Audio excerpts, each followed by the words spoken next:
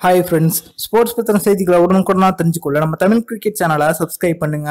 India மற்றும் தென்னாப்பிரிக்கா இந்த இரண்டு அணிகளுக்கு இடையேயான இரண்டாவது டி டுவெண்ட்டி போட்டி பார்த்தீங்கன்னா நாளை நடக்க இருக்கு. இதுல விளையாட போற பதினோரு பேர் கொண்ட வீரர்களோட பட்டியை தான் நாம இப்போ பார்க்க போறோம்.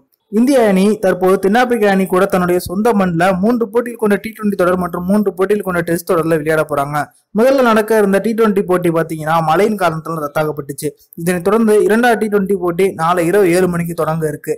இதுல இந்திய அணியில விளையாடுவதற்காக பல இளம் வீரர்களுக்கு வாய்ப்பு அளிக்கப்பட்டிருக்கு. அதுலயும் குறிப்பா இரண்டாயிரத்தி இருபதாம் ஆண்டு நடக்கும் இருபது போட்டிக்கான உலகக்கோப்பைக்கு இந்திய அணியை தயார் செய்யும் விதமாக இந்த அணி தேர்வு இருக்கு அப்படின்னு எம்எஸ்கே பிரசாத் அவர்கள் தெரிவிச்சிருந்தாங்க.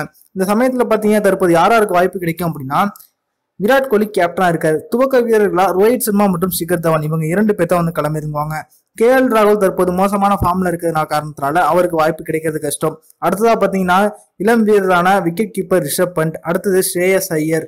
ஸ்ரேயஸ் ஐயர் வெஸ்ட் இண்டீஸ் அணிக்கு எதிரான தொடரில் தனக்கு கொடுக்கப்பட்ட வாய்ப்பு அனைத்தையும் சிறப்பாக பயன்படுத்திய காரணத்தினால அவர் அணியில கண்டிப்பா எடுக்கப்படுவார். அடுத்ததா பாத்தீங்கன்னா நீண்ட இடைவெளிக்கு பிறகு ஆல்ரவுண்டர் ஹார்திக் பாண்டியா அணியில இடம் பிடிச்சிருக்காரு. கண்டிப்பா அவருக்கு வாய்ப்பு இருக்கும். அதே போல அவருடைய சகோதரரான குருணால் பாண்டியா இவங்க இரண்டு பேரும் கண்டிப்பா அணியில இருப்பாங்க. அடுத்ததா சுழற்பந்து வீச்சாளரான ஜடேஜா இவங்களும் கண்டிப்பா அணியில இருப்பாங்க. அடுத்ததா வேகப்பந்து வீச்சாளரான நவதீப் சைனி தீபக் சகர் இவங்க இரண்டு பேரும் இருப்பாங்க.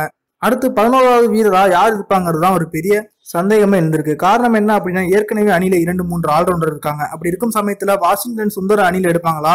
அப்படி இல்லைனா மூன்றாவது வேகப்பந்து வீச்சாளரா இளம் வேகப்பந்து வீச்சாளரான கலில் அகமது எடுப்பாங்களா அப்படிங்கிறது தெரியல இந்த இரண்டு பேர்ல யாருக்கு வாய்ப்பு கொடுத்தா அது சரியா இருக்கும் அப்படின்ற உங்களோட கருத்தை கீழே கமெண்ட்ல லீவ் பண்ணுங்க. இந்த வீடியோ உங்களுக்கு பிடிச்சிருந்துச்சுன்னா லைக் பண்ணுங்க ஷேர் பண்ணுங்க. நன்றி.